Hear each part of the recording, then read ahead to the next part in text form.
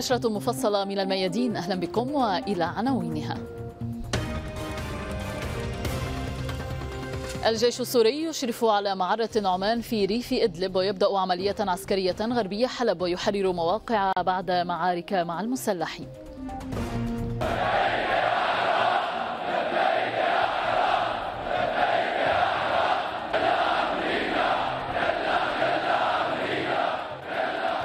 كتائب حزب الله تؤكد أن الشعب العراقي أخذ خياره بإخراج الاحتلال الأمريكي والصدر يدعو إلى إغلاق القواعد الأمريكية. البنتاغون يعلن عن 34 مصابا بارتجاج دماغي من جراء الهجوم الصاروخي الإيراني على قاعدة عين الأسد.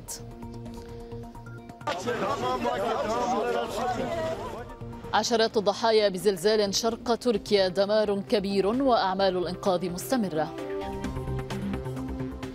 أعداد ضحايا فيروس كورونا في الصين إلى ارتفاع وإصابات بالفيروس في أستراليا وماليزيا. بدأ الجيش السوري عملية عسكرية غربية حلب واستعاد السيطرة على مركز إكثار البذار وعلى عدد من الأبنية على أطراف حي جمعية الزهراء وفق مراسلين.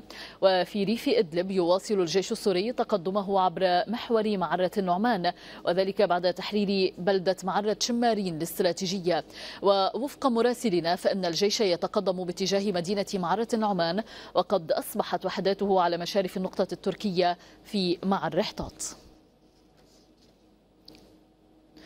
وللمزيد ينضم إلينا من حلب مراسلنا خالد سكيف. خالد أهلا بك. نسأل بداية عن العملية الجديدة التي أطلقها الجيش السوري في غرب حلب.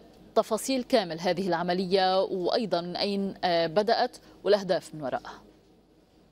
نعم دينا بالفعل بدأ الجيش السوري منذ ساعات ليلة أمس عملية عسكرية غرب مدينة حلب خاصة وأنها يعني أو هذه المناطق هي مصدر تهديد لمدينة حلب باعتبارها أنها تتخذها الجماعات المسلحه المتمثله بهيئة تحرير الشام وحلفائها كمصدر أو كقواعد إطلاق الصواريخ والقذائف على مدينة حلب خلال الأيام الماضية. لكن اليوم أو منذ ساعات الصباح الأولى بدأ الجيش باتجاه أطراف حي جمعية الزهراء لقطع خطوط الامداد المسلحين القادمة من ريف حلب الشمالي وقد سيطر على مبنى أو مركز إكثار البذار على أطراف حي جمعية الزهراء والتي المتاخمة لقريه الليرمون شمال غربي مدينة حلب هذه أو ربما هذه السيطرة ربما ستمهد إلى يعني إلى عدة سيناريوهات ربما تحتمل منها هي عزل الريف الشمالي إضافة إلى عزل الفصائل المسلحة بالريف الغربي ومن ثم التقدم في عمق الريف الغربي. من المبكر الحديث عن التقدم إلى العمق خاصة وأنها ما زالت هي في بدايات المعارك لكن الإطار العام فانها تساهم على تخفيف على مدينة نعم. حلب من القذائف والنيران التي تقوم بها الجماعات المسلحة بحق الأحياء الغربية من كانت في حي جمعيه الزهراء وان كانت في حلب الجديده وإن كان في شارع النيل في الأطراف الغربية أو القريبه على خطوط النار من الجهة الغربية من طيب وأيضا من الجهة الغربية نسأل هنا عن المعارك في ريف إدلب وتقدم الجيش هناك أيضا يعني بهذه العملية تجري بالتوازي مع العملية التي أطلقها الجيش مساء أمس في غرب حلب خالد. نعم استأنف الجيش السوري تقدمه عمليات العسكرية في المحور الجنوبي الشرقي لمدينة أو لريف لإدلب. بالتحديد هي قام بالتقدم من جهة محور الظهور وقد سيطر على أربعة قرى هي معرة شمارين وتل خطرة وإضافة إلى أبو جريف وكريسيان هذه المناطق أصبح يعني بالإمكان أن نقول أن الجيش أصبح على على مشارف معرة النعمان أحد أبرز المدن مدن ريف إدلب خاصة وأنها تتخذها هيئة تحرير الشام كمعقل رئيسي وتتخذ أيضا المدنيين الموجودين فيها كدروع بشرية. إلى الآن المعركة يعني بالإمكان أن الجيش استعاد المبادره من حيث التقدم خاصة وأن كان هناك هجومات للفصائل المسلحة هيئه تحرير الشام جبهة النصرة وحلفائها على نقاط الجيش خلال الأيام الماضية بالمفخخات وبالاسلحه الثقيلة إضافة إلى وصول يعني حسب المعلومات أنها أو استخدمت هذه الفصائل أسلحة تركية في الهجمات ضد الجيش الجيش السوري. نعم اذا خالد سكيف مراسلنا من حلب شكرا جزيلا لك. ونبقى في الشمال السوري حيث تكشف الذكرى السنوية للهجوم التركي على عفرين عن حملة تتريك منظمة فرضتها تركيا والمسلحون المدعومون منها. محمد الخضر. عامان مرا على الاحتلال التركي لعفرين في ريف حلب الشمالي الغربي. مشروع غصن الزيتون التركي تحول مشروع تغيير ديمغرافي أكثر من 300 ألف مدني أجبروا على مغادرة بيوتهم ومزارعهم. تهجير قابله إحلال عائلات المسلحين من الغوطة الشرقية وريف حمص. مخطط ممنهج بدل منصورة مدينة عفرين وعشرات القرى والبلدات التابعة لها. من اللحظة الأولى التي دخلوا فيها وخاصة الآن ظهرت في منطقة رأس العين آه، وفي منطقة الأبيض سارعوا إلى تغيير أسماء المدارس ووضعوا باللغة التركية وباللغة العربية والتعليم أيضا باللغة التركية آه، فهو بخط متسارع جدا ويستفيدون من موضوع الصراعات الإقليمية والدولية لتثبيت آه، أقدامهم على الأرض السورية. في المقلب الآخر تترقب عشرات آلاف الأسر العفرينية العودة إلى أراضيها. عودة مرهونة باستعادة تلك الجغرافيا الممتدة على أكثر من 3800 كيلو متر مربع. وفي ظل أولويات تضعها دمشق لاستعادة السيطرة على كامل أراضيها. اليوم الوجهة هي إدلب وستعود إدلب إلى حضن الوطن. شاء من شاء وأبى من أبى. هذا قرار الدولة السورية ولا رجعة عنه. آه، عفرين ستعود في القريب العاجل بإذن الله. وكل أراضي آه، الجمهورية العربية السورية ستعود لأننا لا نميز بين إرهابي وإرهابي آخر بين محتل وبين غازي. أدخلت تركيا مناهجها التعليمية إلى عفرين وفتحت فروعا لجامعة غازي عنتاب ومؤسسات دينية تعليمية وبدلت أسماء ساحاتها الرئيسية بأسماء تركية. سباق مع الزمن نفذته على الأرض قوى ومجموعات مسلحة مدعومة من تركيا. هي الأولويات التي تقدم التحرك نحو جبهة وتؤخر أخرى كما تؤكد دمشق. لكن القرار باستعادة كل شبر من الأراضي السورية يعتبر حاسما ولا سيما في ظل تعقيد جبهات مشتعلة في إدلب وريف حلب الغربي حاليا. محمد الخضر دمشق الميادين. وزير الخارجية الروسي سيرجي لافروف قال خلال لقائه المبعوث الأممي إلى سوريا جير بيدرسون إن الجيش السوري استعاد السيطرة على معظم المناطق الحدودية مع تركيا والعراق. الإرهابيون يعيقون دخول المساعدات الإنسانية إلى سوريا ويستحوذون عليها عند إدخالها. هذه المشكلة تتطلب بحثا خاصا من المجتمعين في جنيف لأنها تشكل قضية إنسانية. نحن نرى التحيز والمعايير المزدوجة من قبل الحكومات الغربية عندما لا يرسلون المساعدات إلى المناطق الخاضعة لسيطرة الحكومة السورية إنما يرسلونها إلى المناطق التي يسيطر عليها الإرهابيون. من جهته قال المبعوث الأممي إلى سوريا أنه سيبحث جميع القضايا مع السلطات السورية لدى وصوله إلى دمشق. المشكلة تكمن في أن لدينا أكثر من 50% من سكان سوريا الذين تركوا منازلهم. لذا ما نريد تحقيقه هو خلق وضع جيد يمكنهم من العودة ثم الدخول في العملية السياسية ونحن بالطبع نحتاج إلى استقرار الوضع في إدلب. أكد الأسير السوري المحرر صدق المقط أنه تابع ما يجري عند السياج الفاصل في الجولان وأنه رصد الاحتلال الإسرائيلي وهو ينقل جرح المسلحين. وفي حديث للميادين أوضح المقط أن استخبارات الجيش الإسرائيلي كانت تنقل أفراد الجماعات المسلحة إلى داخل المستوطنات في الجولان المحتل. قمت بمتابعة ما يجري على هذا السياج المصطنع الذي يسمونه خط وقف إطلاق النار. آه، وفي داخل هذا السياج يوجد بوابات. وعبر هذه البوابات يقومون بتقديم الدعم لكل هذه العصابات المجرمة الخائنة داخل آه، سوريا. آه، من خلال المتابعة الدقيقة وعبر أشهر وليس وليدة صدفة آه، تمكنت من رصد ما يجري على بوابة فيها في أقصى جنوب الجولان.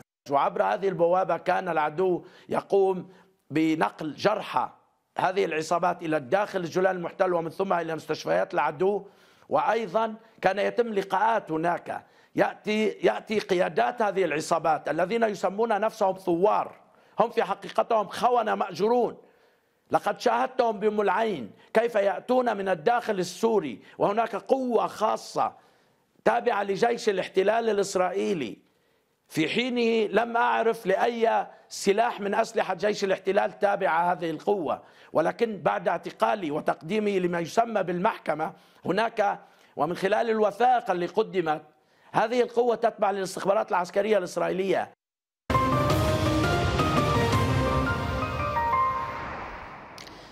أعلنت كتائب حزب الله أن شعب العراق قال كلمته بصوت مدون وسيواصل ثورته حتى إخراج الأمريكيين من أرض الرافدين. الكتائب أكدت أن الشعب العراقي على أتم الاستعداد لإخراج المحتلين بالطريقة التي لا يفهمون سواها إذا أصروا على العناد. وأشارت إلى أن الثورة المليونية رسالة واضحة ينبغي أن يفهمها العقلاء في الولايات المتحدة من أجل الضغط على إدارتهم لسحب قواتها من العراق. بدوره زعيم التيار الصدري مقتدى الصدر قال إن العراقيين أثلجوا قلبه ورفعوا رأسه وأغاظوا العدو.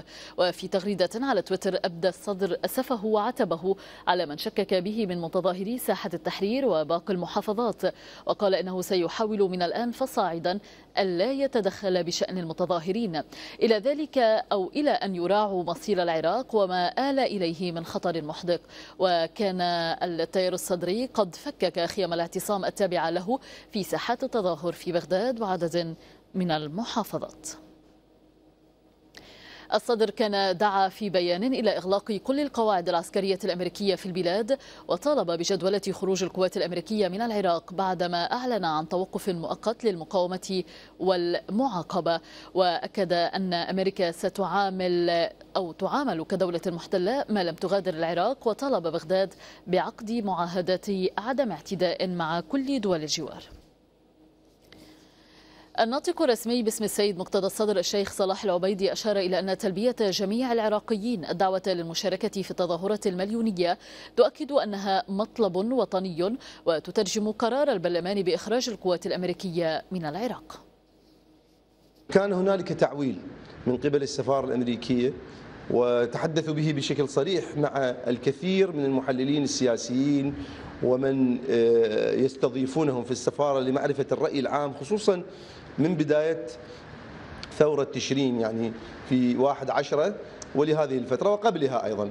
كانوا يعولون في بداية ثورة تشرين على أن تحصل حرب أهلية ما بين الأطراف الشيعية يعني حرب شيعية شيعية. الرد في التظاهرة أن كل الأطراف التي كان بينها خلاف في فترات السابقة اتفقت على أن إخراج المحتل هو مطلب وطني ومطلب قو... مطلب وطني ومطلب شرعي ويجب وقانوني يجب أن يتحقق على الأرض. كيف بدأت تظاهرات العراق يوم أمس التفاصيل في هذا التقرير لعبد الله بدران. محاولة ثانية على طريق ثورة العشرين الثانية في قلب بغداد.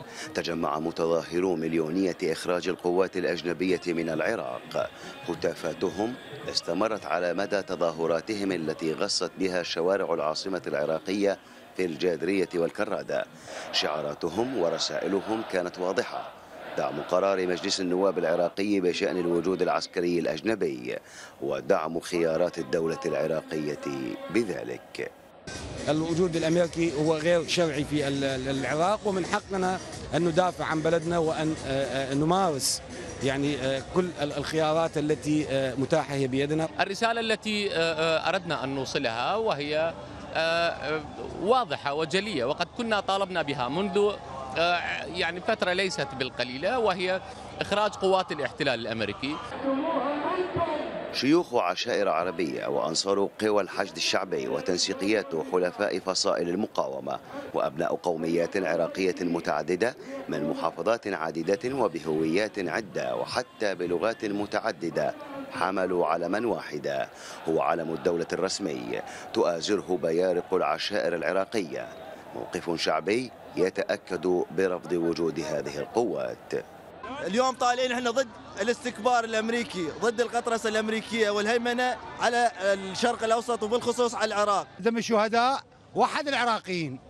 فلتعرف أمريكا وأذناب أمريكا إن العراق واحد.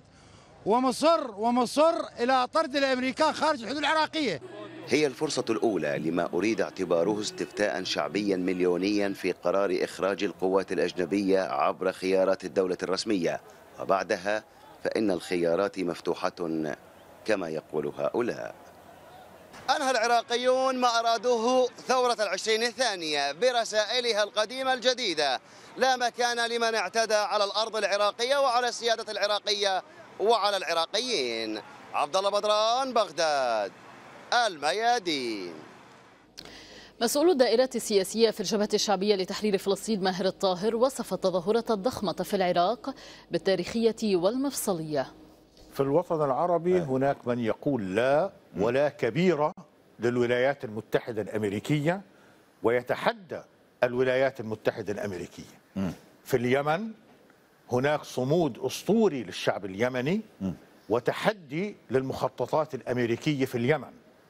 في سوريا هناك صمود أسطوري للشعب السوري وتحدي للإدارة الأمريكية والمشروع الصهيوني في المنطقة. في لبنان هناك لا كبيرة للوجود الأمريكي في المنطقة وتحدي كبير للمشروع الصهيوني الأمريكي في المنطقة.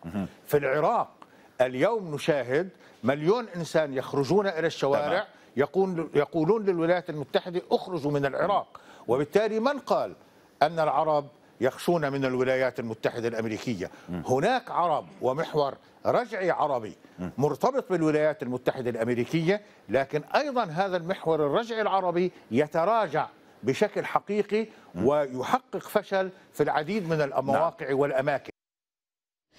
أعلن البنتاغون على لسان المتحدث باسمه أن عدد المصابين من جراء الهجوم الصاروخي الإيراني على قاعدة عين الأسد في العراق 34 مصابا بارتجاج دماغي في إفادته بآخر تحديث الحصيلة وأشار إلى تحديثات مستقبلية لأعداد الجرحى من أجل الدقة وتقديم المعلومة الأفضل للأمريكيين على حد تعبيره. إليكم التحديث لأعداد الجنود الجرحى. تم تشخيص 34 بارتجاج في المخ. ثمانية سبق نقلهم إلى ألمانيا وتم تحويلهم إلى الولايات المتحدة حيث سيواصلون تلقي العلاج إما في مستشفى والتر ريد العسكري أو في مساكنهم وقد وصلوا هذا الصباح. تسعة آخرون ما زالوا في ألمانيا للتقييم وتلقي العلاج. جندي آخر تم نقله إلى الكويت حيث تلقى العلاج وعاد إلى الخدمة في العراق. 16 آخرون ظلوا في العراق وعادوا إلى الخدمة بعد تعافيهم.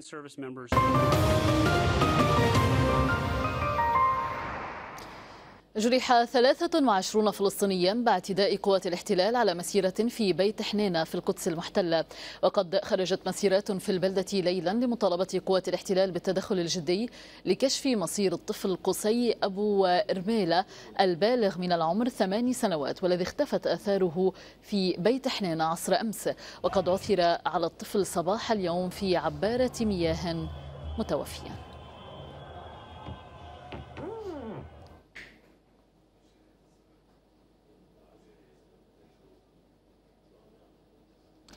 وللمزيد ينضم إلينا من بيت لحم مدير مكتب الميادين في فلسطين المحتلة ناصر لحم. ناصر لو أطلعتنا على مزيد من التفاصيل حيثيات كيفية العثور على الطفل وهل من ملابسات؟ يعني هل من إشارات إلى أن هناك ملابسات حول ظروف وفاة هذا الطفل؟ طبعا الخير دينا. مرت ليلة قاسية على الفلسطينيين كلهم وعلى سكان العاصمة المحتلة المقدسيين بالذات. 17 ساعة على اختفاء الطفل قصي أبو رميلة سبع سنوات أثبتت أولا بأنه لا يوجد أي ثقة بشرطة الاحتلال ثانيا أن شرطة الاحتلال لا تتعامل مع السكان الفلسطينيين كما تتعامل مع اليهود رغم التظاهرات ورغم خروج كل سكان القدس للبحث عن الطفل قصي أبو رميلة في حي بيت حنينة إلا أن شرطة الاحتلال استدعت المستعربين واستدعت النخبة والكوماندوز لقمع السكان الذين ذهبوا للبحث في الكهوف وفي الجبال. وأيضا يضاف إلى ذلك رواية الشرطة الإسرائيلية صمت رفض الكشف عن كاميرات المراقبة التي تراقب كل شارع في فلسطين أدى إلى إطالة عملية البحث.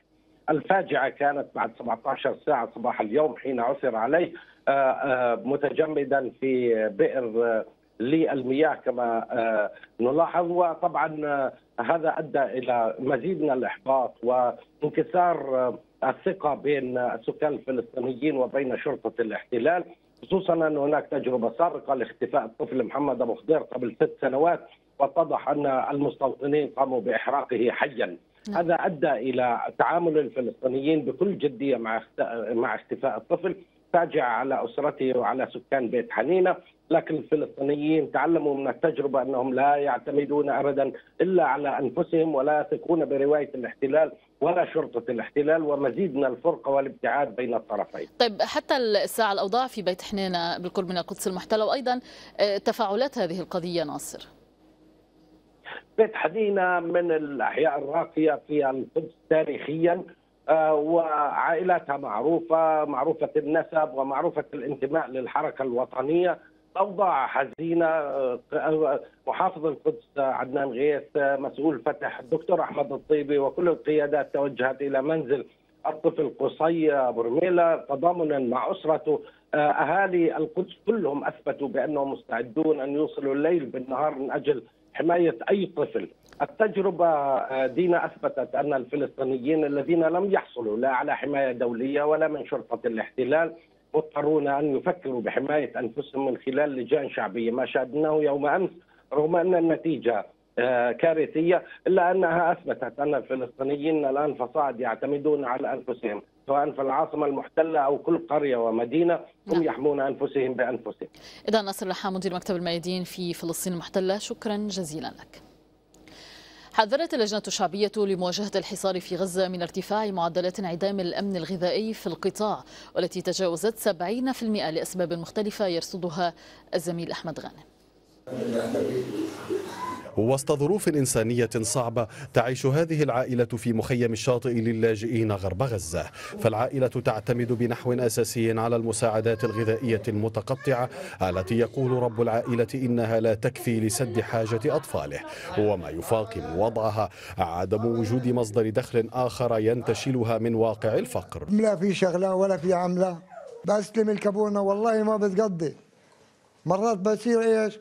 أجيب من هان ومن هان عشان سطرة الأولاد لما بيجي الولد بيطلب مني مصروف والله ما بياخده اللجنة الشعبية لمواجهة الحصار في غزة قالت إن 70% من أسر القطاع تعاني انعدام الأمن الغذائي بسبب الحصار والعدوان الإسرائيليين اللذين تسببا في إغلاق 500 مصنع وانضمام قرابة 300 ألف عامل إلى صفوف العاطلين من العمل وهو ما رفع نسبة الفقر إلى أكثر من 60% مطلوب اليوم المجتمع الدولي يمارس ضغوط حقيقية على الاحتلال الإسرائيلي لرفع الحصار من ناحية وأيضا إغاثة غزة من خلال مشروعات إنسانية وتشغيلية حتى تنتهي هذه الأزمة.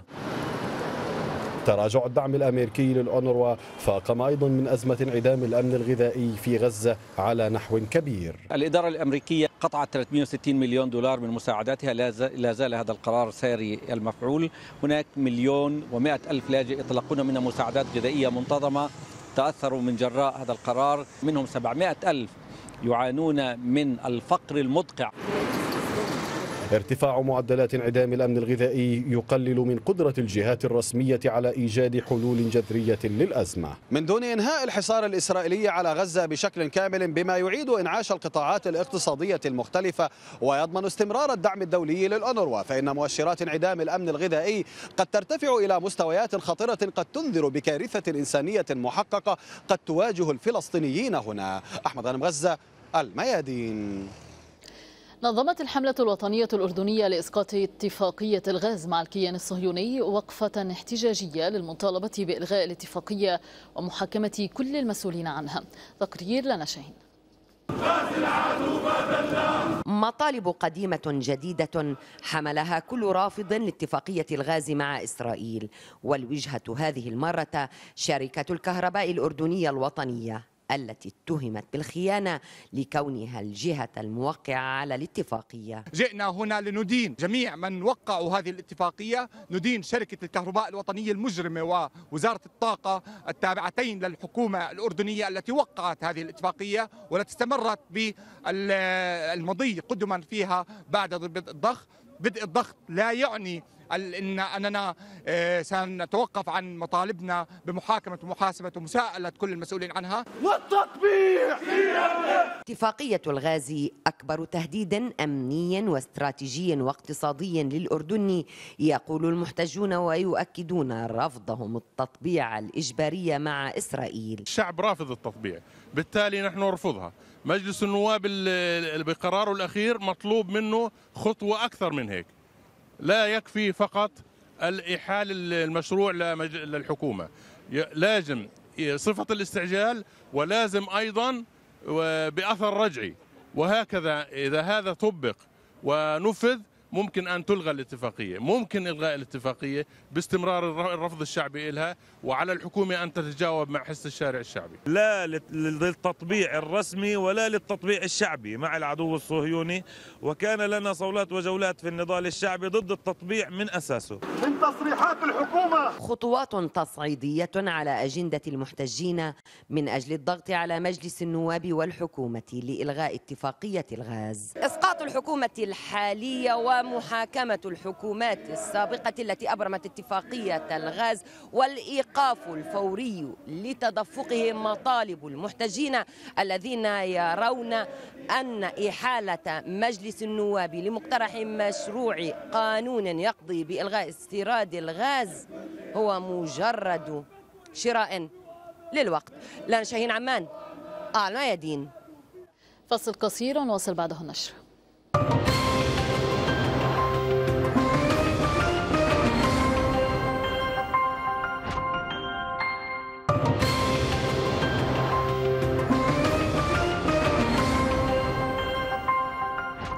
أهلا بكم من جديد. ارتفع عدد ضحايا الزلزال الذي ضرب شرق تركيا إلى 20 حالة وفاة والمصابين إلى 1015 شخصا. ووفق ما أعلنت إدارة الكوارث والطوارئ التركية وزير البيئة التركي أفاد بانهيار 30 مبنى وبلوغ عدد الهزات الارتدادية 35 شعر بها سكان الدول المجاورة وسط استمرار عمليات الإنقاذ. الزلزال والذي نهزت قوته سبع درجات على مقياس ريختر وقع في منطقة سيفريتش في محافظة إلازيغ شرق البلاد.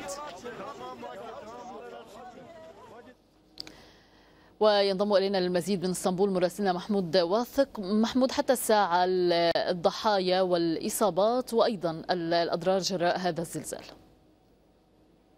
آه، نعم دينا يبدو أن الأضرار آه، كبيرة جدا آه، في المدينتين. آه، مالاتيا وإلازاغ في شرق تركيا هاتين المدينتين اللتين آه، ضربهما الزلزال الشديد الذي وقع آه، مساء يوم أمس بلغت درجته 6.8 حسب إدارة الكوارث والطوارئ التركية. الضحايا حتى الآن 21 قتيل وأكثر من ألف جريح تم نقلهم إلى المستشفيات الحكومية القريبة في مناطق في شرق تركيا. حسب إدارة الكوارث التركية أعمال الإنقاذ ستستمر حتى مساء اليوم آه، لإنقاذ آه، العالقين ربما تحت المباني المنهاره في آه، مدينة مالاتيا والازاغ التركية. هناك خمس مباني انهارت تماما في الازاغ و25 مبنى انهار أيضا في مدينة مالاتيا فرق الإنقاذ آه، آه، آه، تتواصل إلى هاتين المنطقتين لإنقاذ آه، العالقين ربما تحت المباني. آه، الحصيله حصيله الضحايا ربما ترتفع حسب آه، السلطات التركية. آه، هناك معلومات عن وجود عالقين ربما تحت هذه المباني التي انهارت. قبل آه، آه، ربع ساعة تقريبا تم إنقاذ آه، سيدة من آه، تحت أحد المباني المنهارة بعد 14 ساعة من وقوع الزلزال. كانت هناك هزات ارتدادية أيضا آه، في آه، نفس المنطقة. أكثر من 35 هزة ارتدادية آه، تم تسجيلها في هاتين المنطقتين. آه، هناك توجيه دعوة للسكان وأهالي هذ- آه، هذه المناطق بعدم البقاء في البيوت. والتوجه إلى ال- الساحات المفتوحة إلى آه، صالات الرياضة إلى المدارس الحكومية. آه، هناك محاولات آه، كثيرة تجري الآن لمساعدة المنكوبين والمتضررين من هذه الهزة القوية التي شعر بها أكثر المدن الواقعة في شرق تركيا.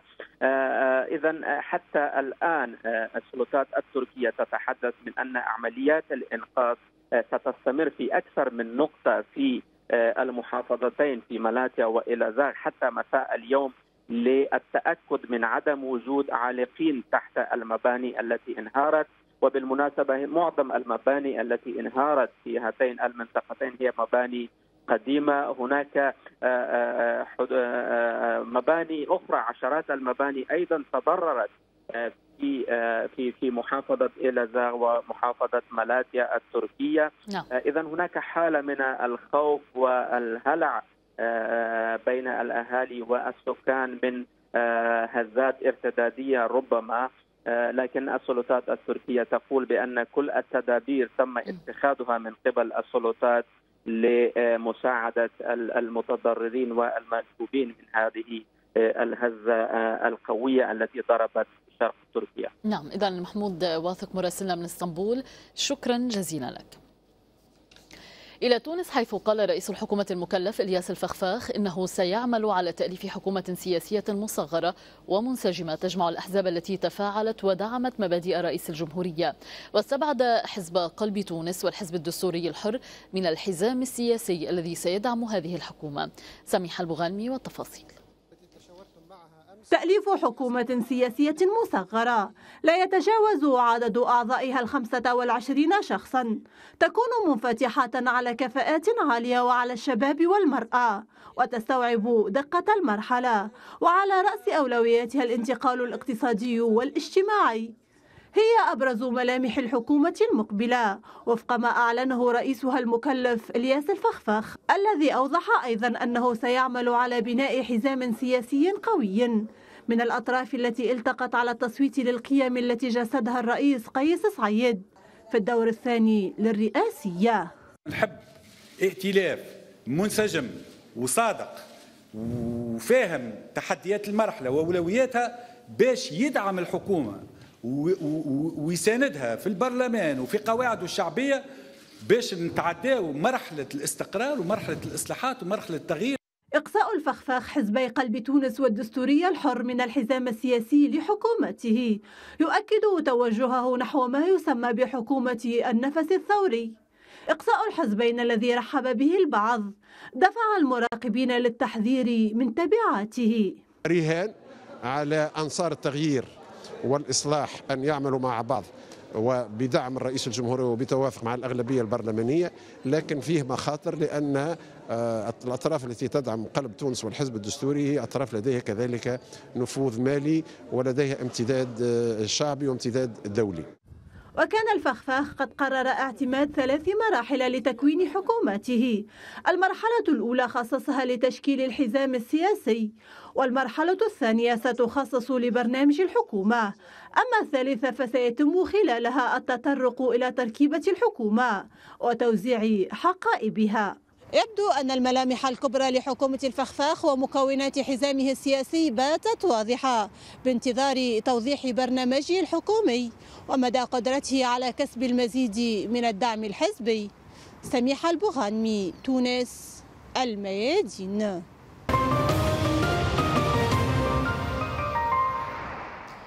أعلنت الصين أن 41 شخصا توفوا حتى الآن بسبب فيروس كورونا الجديد فيما أصيب أكثر من 1300 شخص على مستوى العالم. صحيفة ديلي ميل البريطانية نشرت فيديو وصفته بالمرعب لجثث ضحايا الفيروس في الصين وفرضت السلطات إجراءات على مستوى البلاد للكشف عن حالات الإصابة المشتبه بهذا الفيروس وعلى القطارات والطائرات والحافلات. I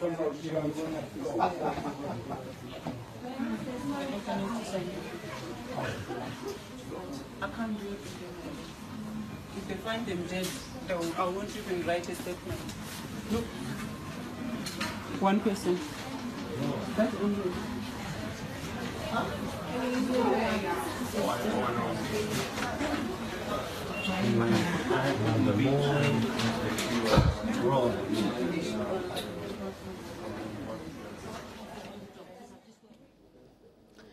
ومع الإعلان عن إصابة ثالثة بالفيروس في فرنسا أكدت أستراليا تسجيل أول إصابة على أراضيها بهذا الفيروس. وأشارت إلى أن الشخص المصاب وهو رجل مسن وصل إلى ملبورن قبل أسبوع آتيا من مدينة ووهان الصينية. هذا وأعلن وزير الصحة الماليزي اكتشاف ثلاث إصابات بفيروس كورونا وهي الأولى في الدولة الواقعة بجنوب شرق آسيا. وفيما تتواصل محاكمة ترامب في مجلس الشيوخ الأمريكي أظهرت استطلاعات الرأي أن 51% من الأمريكيين يؤيدون عزل الرئيس الأمريكي مقابل 46 ممن يدعمون بقائه في البيت الأبيض. محمد كريم. بقوة يواصل فريق الادعاء على الحزب الديمقراطي توجيه الاتهامات وعرض ما يتوفر لديه من أدلة في محاكمة ترامب البرلمانية والتي تطالب بعزل الرئيس من منصبه فيما يستعد فريق الدفاع للرد وتفنيد الحجج التي قدمها الديمقراطيون. التهمة الأولى هي إساءة الرئيس استخدام السلطة عبر الطلب إلى دولة أجنبية التدخل في انتخاباتنا لمصلحته الشخصية. هو أقدم على حجم المساعدات التي خصصها الكونغرس لأوكرانيا وألغى اجتماعا طال انتظاره مع الرئيس الأوكراني في البيت الأبيض. سلوك الرئيس خاطئ وغير قانوني وخطير ويجسد أسوأ مخاوف واضعي الدستور الأمريكي. الانقسام الحزبي الحاد في مجلس الشيوخ عكسته استطلاعات الرأي الأخيرة والتي أشارت إلى أن 51% من الأمريكيين يؤيدون عزل ترامب مقابل 46 يرون ضرورة بقائه في البيت الأبيض. لا يعزل رئيس يدعمه ما يقرب من نصف الأمريكيين، صحيح أن بعض العناوين تقول إن الغالبية ترغب في رحيله، لكن هناك من لا يريد ذلك، كما أنه ما من تفويض للجمهوريين بعزله من منصبه. إحدى المسائل الجوهرية في السجال بين الطرفين الجمهوري والديمقراطي تركزت حول استدعاء الشهود حيث استند الحزب الديمقراطي في دعوته إلى استطلاعات الرأي التي بيّنت رغبة أكثر من 70% من الأمريكيين برؤية شهود جدد في المحاكمة. والجدير بالذكر أن الحزب الديمقراطي رفض إجراء مقايضة في مسألة الشهود تؤدي إلى استدعاء نائب الرئيس السابق جو بايدن ونجله. لا يبدو أن مجريات المحاكمة حتى الآن قد أحدثت تغييرا جوهريا في موقف الرأي العام الأمريكي من عزل ترامب إذ يلاحظ أن الاستطلاعات قبل المحاكمة لا تختلف كثيرا عن تلك التي تواكبها. محمد كريم واشنطن الميادين.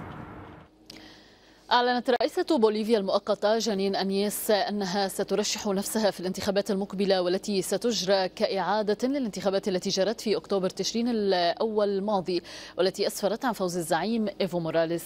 وقد تولت أنيس الرئاسة بعد انقلاب عسكري ضد الزعيم موراليس.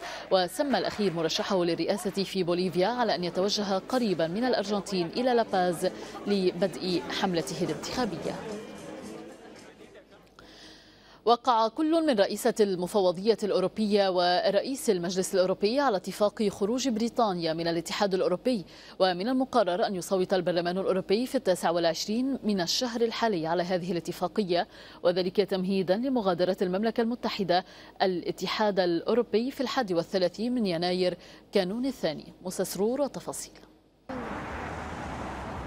الملكة إليزابيث الثانية توافق على خروج بريطانيا من الاتحاد الأوروبي في نهاية الشهر الحالي.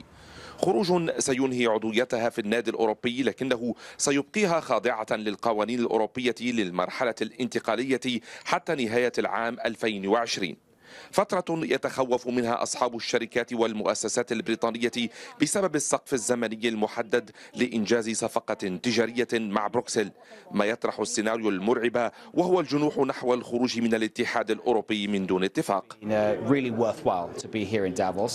التقيت خلال منتدى دافوس الكثير من رؤساء الشركات والمستثمرين الدوليين. وسمعت منهم مرارا وتكرارا أنهم يثقون ببريطانيا. البلاد ستعود من جديد وأنا سعيد بذلك. تشاؤمية هي تلك الدراسات التي تحدثت عن الخسائر الاقتصادية من جراء تلاقي لندن من التكتل الأوروبي. لعل أبرزها التي أشار إليها المعهد الوطني للبحوث الاقتصادية والاجتماعية حيث توقع أن يتضاءل الاقتصاد البريطاني بنحو 90 مليار دولار حال إتمام خروج بريطانيا من الاتحاد الأوروبي. أعتقد أن سيناريو صفقة الخروج من دون اتفاق أداة يستخدمها بوريس جونسون للتفاوض مع الأوروبيين لكنه في الحقيقة لا يريده لأنه يعلم عواقبه الكارثية على اقتصاد بريطانيا. جونسون سيفاوض بروكسل لكنه في نهاية المطاف سيقدم مقترحا لاتفاق تجاري معها. البنك المركزي البريطاني كان أول المتخوفين من سيناريو الانسحاب من دون اتفاق.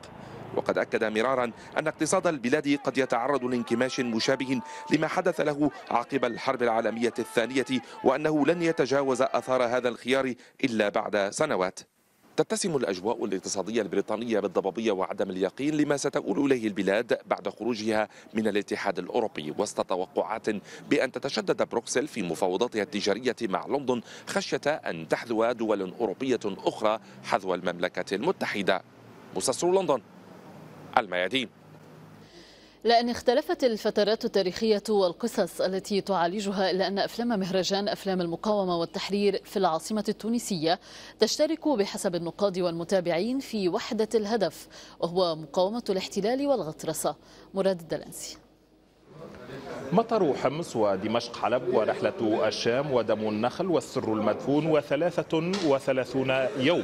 إضافة إلى مجموعة من الأفلام التونسية التي تؤرخ لمقاومة الاستعمار الفرنسي في تونس. كلها أفلام تمكن الجمهور التونسي من التعرف عليها خلال أيام المهرجان.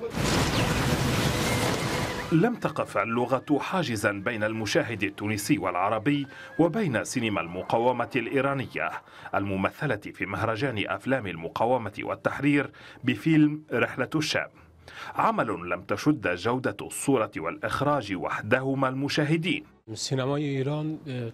گفت که یکی از السينما الإيرانية كما وكيفا تعتبر من بين الدول الست الكبرى في العالم.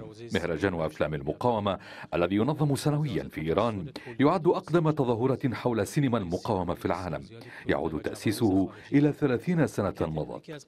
على امتداد خمسة أيام متواصلة تمكن الجمهور التونسي وضيوفه من متابعة أكثر من ستة أفلام من سوريا وإيران ولبنان. أفلام تصور لحظات إنسانية وعاطفية ووطنية. القاسم المشترك بينها مقاومة الإرهاب والاحتلال الإسرائيلي. تونس من جهتها قدمت طرحا خاصا لشكل آخر للمقاومة. فمعظم الأفلام التونسية والجزائرية ركزت على مقاومة الاحتلال الفرنسي. الفيلم هذايا يعود لفترة زمنية مهمة في تونس على الفلاجة. هما مجموعة من المقاومين التونسيين اللي هما رفعوا السلاح ضد المستعمر الفرنسي وقاموا لمدة زمنية طويلة.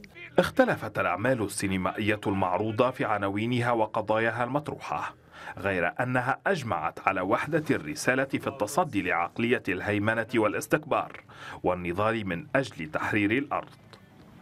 مراد الدلنسي تونس الميادين. اكتشافات مثيرة على مقربة من مدينة فايدة التي تتبع محافظة دهوك في كردستان تميط اللثام عن حقبة مهمة من القرن الثامن قبل الميلاد. التفاصيل في التقرير التالي.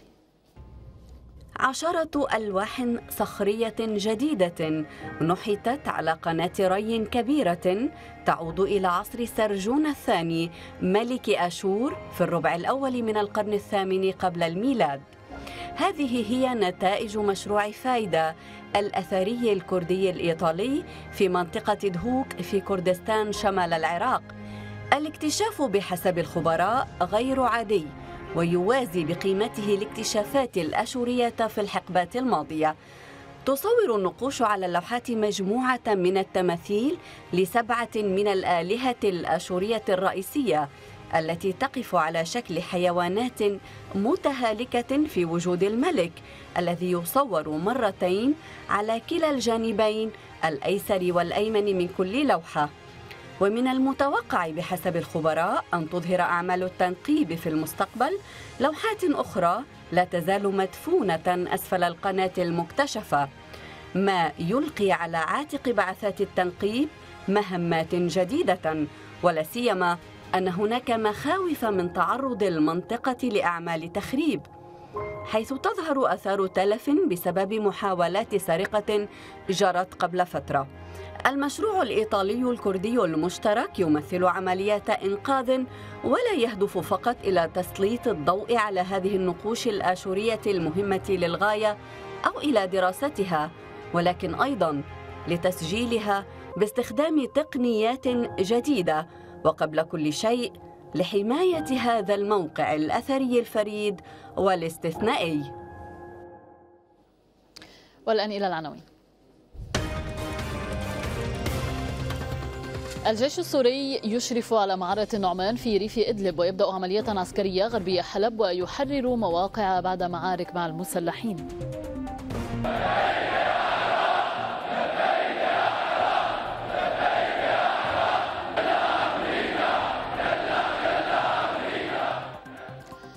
كتائب حزب الله تؤكد أن الشعب العراقي أخذ خياره بإخراج الاحتلال الأمريكي والصدر يدعو إلى إغلاق القواعد الأمريكية. البنتاغون يعلن عن 34 مصابا بارتجاج دماغي من جراء الهجوم الصاروخي الإيراني على قاعدة عين الأسد. عشرات الضحايا بزلزال شرق تركيا دمار كبير وأعمال الإنقاذ مستمرة. أعداد ضحايا فيروس كورونا في الصين إلى ارتفاع وإصابات بالفيروس في أستراليا وماليزيا. للمزيد زوروا صفحة الميادين على الإنترنت الميادين دوت نت والميادين بالإسبانية للمتابعين بلغة الإسبانية. إلى اللقاء.